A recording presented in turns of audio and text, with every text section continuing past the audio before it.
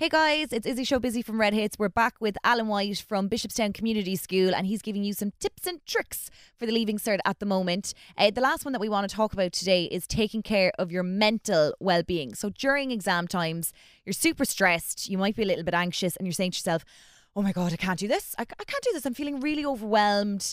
Um, I'm not going to do this. Uh, I can't. And you start thinking really negatively. And the more negative thoughts that you think on a regular basis, it just makes you become a negative person and we don't want that to happen because i suppose the more you believe in yourself and the more positive you can be that can really affect your exam results then i suppose um, absolutely it can affect your exam exam performance mm. um, and what tends to happen is that when we go down that, that road and that those thought processes of i can't i'm not good enough or i'm never going to get everything done um, we can get ourselves caught up in what's what, what i call it a kind of a negative thought feedback loop in mm-hmm. that that's what we're telling ourselves all day, every day. Yes. And that wears us down. That um, increases our stress um, increases our anxiety about the exams and, and, it, and it wears us down. Now, where that comes from, it's it's called it's called our negativity bias, which we tend to see the negative in things before we see the positive the positive in it, which is good, I suppose, in a lot of ways because it, it keeps us away from danger, physical danger.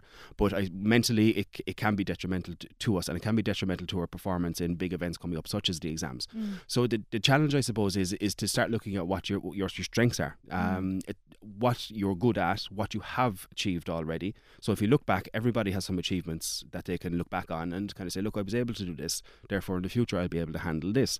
And what I see in students every single year is that students are way, way tougher than they give themselves credit for. They're way more capable than what they give themselves credit for, and they're way more, they're way more able than what they give themselves credit for. And they, they need to remember that at this time that you you are so much more capable than what than what you think you are. You know.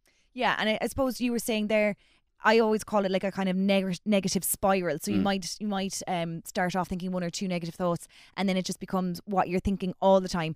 Um, but it's also important to be realistic at this stage as well because we don't want to go to the complete opposite side of the spectrum Absolutely. where you're really really overly confident in everything Absolutely. that you're doing. Um, so how would people find a happy medium there? Would you say? Um, I, I suppose the, what you, what you need to do is, is, as you said yourself, is be, is be realistic about it. You know, um, mm. look, perhaps I haven't done as much as I would have liked to have done, but I have done some things, and you know, I am capable. And look, I've gotten such and such marks for, in my pre-exams, for example. I can do a little bit better on that, and you can you can manage it that way by being being realistic with your thoughts. Mm. Not we're not asking anybody to change from being oh I'm not able to I'm going to be the best ever and I'm going to get 600 points. You know that that is that is un, unrealistic.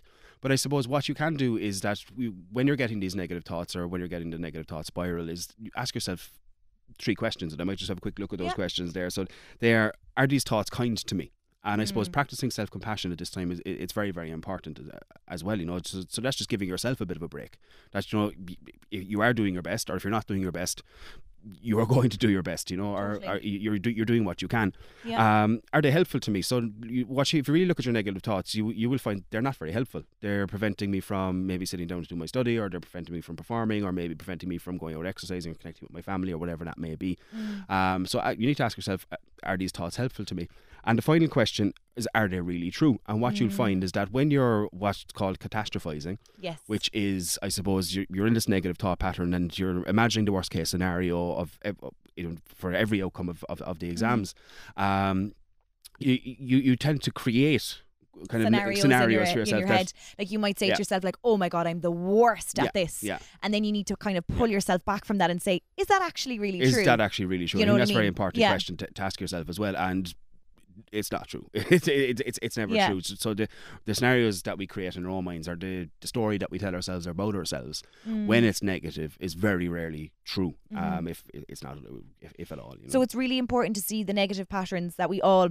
Yeah. Like, and it's really regardless of doing your your leaving cert or not. This is really good. Um, practicing for later on in life as well. You know what I mean? Like you learn um, at the leaving cert, maybe it's the first really stressful time mm. that you're you're mm. going to find in your life. Mm. So these are just really good skills to have throughout your, your whole life of of learning not to be negative and stuff like that. So it's really good to learn it at the leaving cert, and it can really help you so much. So if you are being very negative, I suppose uh, you need to identify with that, and maybe would you say from previous videos you could take a break and connect with your family, or do a little bit of exercise, or just take a break and and um, kind of tell yourself you know, I'm not going to be negative about that anymore because that's not doing me any favors here today. Absolutely, um, and, and taking taking a break, connect connecting with people, um, exercise again, all fantastic ways of, Mm. of, of breaking that cycle. Um, as is, as is writing things down, you know, so writing things down that you're good at, for example, writing down some of the positives or some of your strengths as well, Mm. um, as an as a quick exercise can off, often refocus the mind into into what you are good at, what what are your strengths, and it can just build up your self esteem and your confidence a little bit as well. That uh, Totally. actually I'm I, I- I'm I'm good at a lot of things, Yeah. um, so I can sit down again. I can maybe try again a little bit. But that's know? actually a great idea, even to have in your copybook at some Mm. stage. If you write down five things that you are good at, and the next time you're doing, I don't know, practicing French or Irish, and you're thinking to yourself, "Oh my God, how am I even doing this?" And you can just flick the page and go, "Well, do you know what? I'm good at those." Do you know what I mean? Yeah, absolutely, absolutely, and, bit it, of a- and I suppose it just gives you a little bit of a boost as well. Um, and I suppose I think it's important as well to remember that look, the, the leaving cert, it, it, it's the leaving cert is an important exam, but you have to remember that the leaving cert isn't going to define anybody. Exactly. You know, in, in ten years' time, I, I couldn't tell you what I got in my leaving cert. I'm sure a lot of people couldn't Yeah. Couldn't tell couldn't tell about three or four years on what they got in their leaving cert. You know, so what you do your best, you do what you can. There's lots of different options out there um, uh, these days, thankfully. So the, there's a path for everybody. Yes. And you're nearly there, so hang in there as well. Thank you very much, Alan White. Um, there's more information about this on redextra.ie and stay tuned to our social media channels for more videos.